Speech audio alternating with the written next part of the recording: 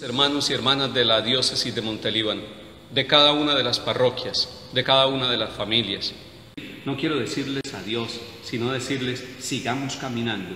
Ahora yo caminaré en Popayán y ustedes seguirán caminando aquí, buscando la reconciliación, la paz. Quiero decirles una palabra, cuando escuchen Escuela de Formación Básica en la Fe en la diócesis de Montelíbano, estamos hablando de un proceso con niños desde los tres años que van conociendo a Cristo, que van conociendo los sacramentos. Necesitamos muchos catequistas. Usted puede ser catequista. Necesitamos que todos los niños de los barrios y de las veredas conozcan a Cristo, que puedan celebrarlo en la Eucaristía, que puedan amar cada día más la Iglesia y a la Santísima Virgen María.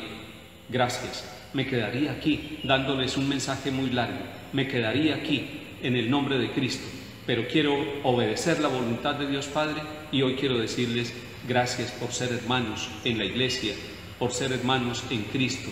Sigan trabajando, que el sur de Córdoba, la diócesis de Montelíbano, los necesita a ustedes. Hermanos sacerdotes, gracias por tanta paciencia, y gracias por ese entusiasmo misionero y por esa capacidad de vivir pobres entre los pobres, sirviendo a las comunidades parroquiales que el Señor les ha asignado.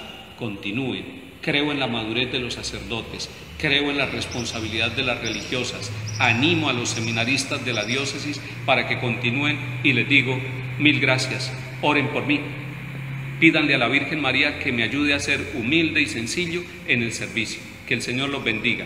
En el nombre del Padre y del Hijo y del